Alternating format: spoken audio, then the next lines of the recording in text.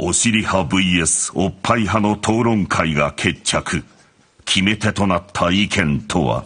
円を描きながら攻めていけるのはおっぱいじゃないですか。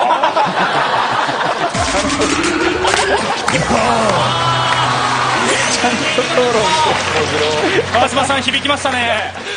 朝まで生テレビ出てるテンションでしたね。ちゃんとした憑依させてますね。さあトップの大悟さん。を追うがその大悟さんについている単独トップ。参りましょう。大悟さんお尻派 VS おっぱい派決め手となった意見とは？何百年も前はおっぱいって山火師って言ってたんや